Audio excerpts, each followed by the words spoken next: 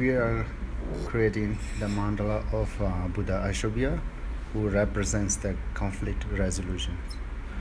Actually, there are uh, many different types of mandalas in Buddhist uh, traditions. So this is the sand mandala, right?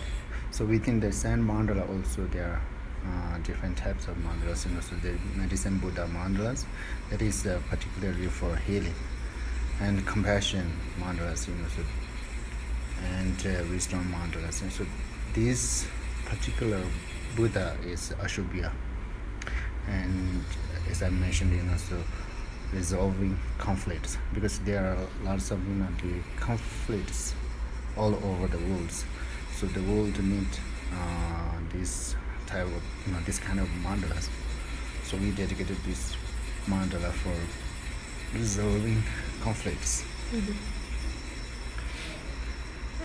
Uh, minimum it takes uh, 23 or 4 hours to complete one mandala but this time we have uh, plenty of time so they are creating each and everything in detail. Uh, we started on december 2nd and uh, we will have a closing ceremony on december uh, 17th uh, 3 o'clock. Okay 3 o'clock so you know creating mandala is for healing for uh, resolving conflicts and for peace, for harmony, for purification, so so forth and so